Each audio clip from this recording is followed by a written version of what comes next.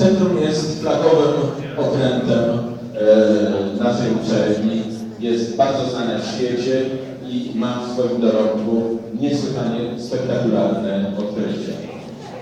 Zaplanowaliśmy z panem e, profesorem, że ta wystawa odbędzie się, ale z, już przy nowej dyrekcji, oczywiście przy wsparciu pana dyrektora Wielińskiego, e, zostaliśmy e, postawieni przed smakiem dokonanym. Otóż to, co się stało w regionie, e, sprawiło, że nie, nie mogła to być e, wystawa o e, osiągnięciach wyłącznie e, archeologów Centrum Archeologii Śródziemnomorskiej, ale też o tym, że e, te osiągnięcia są cenniejsze z tego powodu, że e, posłużą do e, rekonstrukcji zabytków e, zniszczonych, zabytków zburzonych.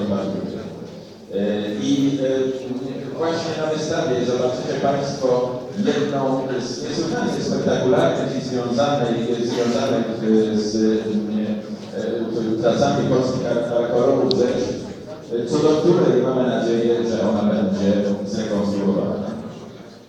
Proszę Państwa, e, ta wystawa jest e, poświęcona także niesłychanej osobie, a mianowicie panu dyrektorowi Kalegowi Asadowi, który oddał życie za stanie przy i w jakimś sensie w obronie zabytków, które między innymi wykopali Polacy.